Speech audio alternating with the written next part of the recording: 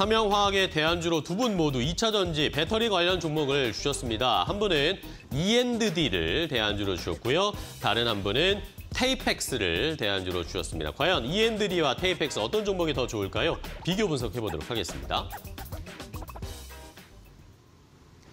자, 두 분이 주신 대안주 하나씩 체크를 해보겠습니다. 요즘 시장에서 확실히 2차 전지 관련 종목들을 좋은 걸 찾겠다라는 심리들이 많이 보이고 있습니다. 최근에 저희도 이번 주에도 계속 2차 전지 관련 종목들을 보고 있는데 김민수 대표님의 E&D부터 좀 볼까요? 네, 어, 이 회사는 저희가 총매라고 합니다. 네네. 어, 총매가 이제 매연 저감 장치 쪽이죠. 어, 이쪽에서 한 어, 총매 총매 시스템 이쪽이 거의 매출의 대부분을 차지합니다. 음. 어, 그런 쪽과 어, 그와 함께 이제 2차 전지 사업까지 같이 하고 있는 회사인데 근데 특이한 거는 이 회사가 한 어, 2, 3년 전부터 매출액의 한 2%는 계속 R&D에 투자합니다. 오. 그래서 그런 성과를 어, 2차 전지 쪽에서 보여줬다라는 데 주목해야 될 것 같고요. 네. 일단 총매 사업이라고 하는 거는 어, 혹시 다 아실 겁니다. 혹시 어, 경유차를 한 좀 오래된 10년 이상 탄 차를 보게 되면은 배기가스가 이산화탄소가 많다고 해서 거기서 DPF라고 하는 스티커를 붙여야 되는데 네네네. 이게 쉽게 말씀드리면 어, 그 안에 어, 어떤 배기 그 저감 장치에 관련된 부분들을 탑재했다라고 하면서 스티커를 붙이는 과정이 나오는데 네. 그 관련된 사업을 하는 회사가 이 회사입니다. 아. 네, 그래서 어, 좀 총매를 넓게 보게 되면 자동차, 농기계, 선박 산업 이런 쪽에 DOC 총매가 있고요. 또 말씀드렸던 자동차용의 DPF 총매, 어, 총매가 되게 많네요. 네. 그래서 이런 네 가지 정도가 있는데 어, 한때 환경부에서 시행하던 이 DPF 보급 사업이 한때 코로나 19라든가 게다가 또 정책을 재정비하는 과정 쪽에서 매출이 안 나왔습니다. 그래서 이게 어느 정도 쟁- 정비가 되게 되면은 또 다시 매출의 속도가 아마 작년 말부터 다시 이어지는 걸로 보여지고 있는데요. 근데 이 부분은 어 말고 어느 정도 좀 어, 성과가 낸다고 보여지는데 거기다가 2차 전지용 양극활 물질의 전구체를 개발을 완료했습니다. 이렇듯, 이렇다는 얘기는 어, 이 전구체가 그러니까 프리커서죠. 그러니까 이게 어, 양극재 성능을 결정하는 핵심 소재란 쪽에서 그러니까 즉 어, 분자가 갑자기 이렇게 잘 변할 수 있게 해야 양극 음극의 어, 변화를 그대로 가져갈 수 있다라고 하게 되면 어, 이 고성능 전구체 제조에 대한 원천 기술을 갖고 있고요. 게다가 또 이 NCM 계열 쪽의 전구체 제조 특허 10건 예, 열심히 일하네요. 네, 이런 쪽에서 성과가 나오고 있다는 점에서 눈길이 가고 있는데 네.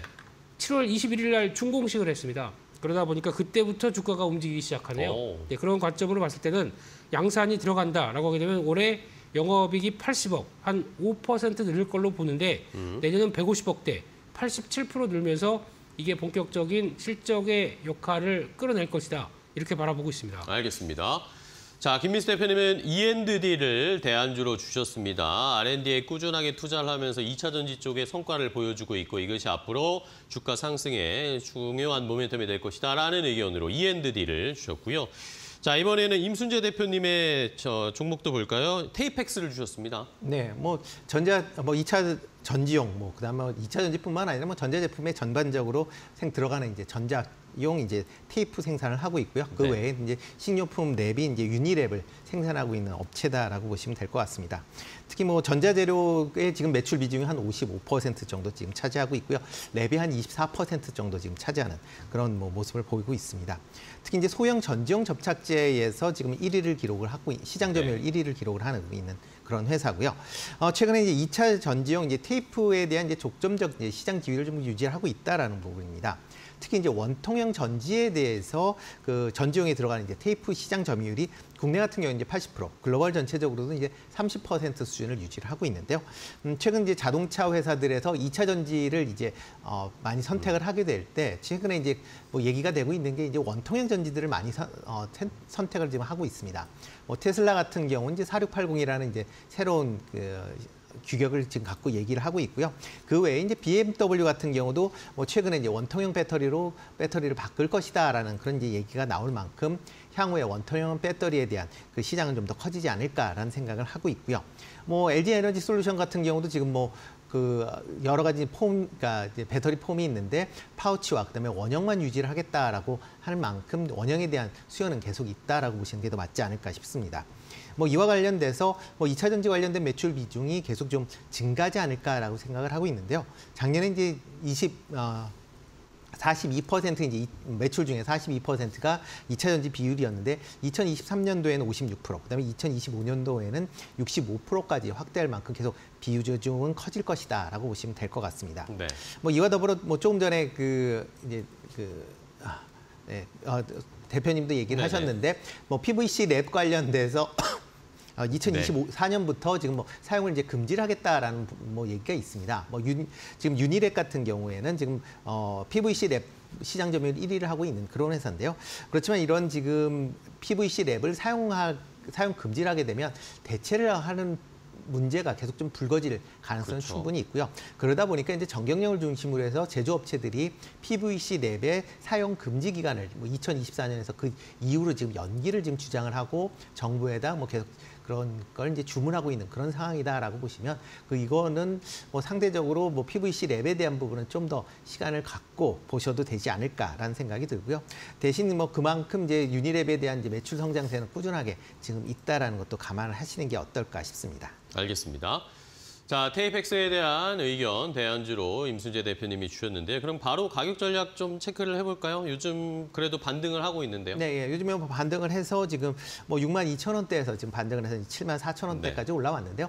뭐 7만 4천 원대에서 뭐 충분히 가능할 매수가 가능하지 않을까라는 생각을 해보고 있습니다. 뭐 최근 이제 외국 기관 같은 경우 4거래일 연속 매수를 하면서 지금 4만 주 정도를 이제 매수를 했고요. 네. 그다음에 외국인도 7월 15일 이후에 뭐 꾸준하게 지금 매수를 하고 있다라는 것도 아마 관심 있게 보시면 어떨까 싶고요. 목표 가격은 뭐 전 이제 매물대 인 이제 8만 2천 원까지는 뭐 충분히 상승할 수 있지 않을까 싶고요. 만약 그걸 넘어간다라고 하게 되면 추가 상승도 가능하다라고 생각이 됩니다. 손절 가격은 이제 6만 2천 원에서 순- 손절을 하시면 어떨까 싶습니다. 알겠습니다. 목표가 82,000원, 손절가 62,000원으로 잡아주셨고요. 김민수 대표님의 E&D도 가격 전략 주실까요? 네, 어, 지금 최근에 많이 올라왔습니다. 어, 올라왔는데 이 부분이 그냥 기대감 때문에 올라온 것보다 공장이 양상과 같이 움직인다고 하게 되면 네. 어, 하면 2만 8천 원대 전후에서는 어, 잡을 수 있을 것 같고요. 그 정도쯤에서 어, 진입하면서 1차 목표가는 직전 고점대 부분이 안착해야 다음 자리로 들어오겠죠. 그래서 3만 2천 원대 말씀드리고 싶고요. 손절가는 2만 5천 원으로 말씀드리겠습니다. 알겠습니다.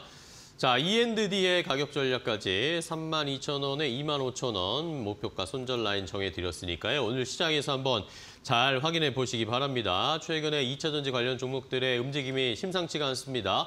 오늘도 대안주로 E&D와 테이펙스 제안해드렸으니까 오늘 시장에서 저희 한번 잘 지켜보도록 하겠습니다. 자, 오늘 기대도 괜찮은 여기서 마무리하도록 하겠습니다. 오늘 또 두 분 좋은 종목 소개해 주셔서 너무 감사하고요. 다음 시간에 두 분 또 뵙도록 하겠습니다. 고생 많으셨습니다. 고맙습니다.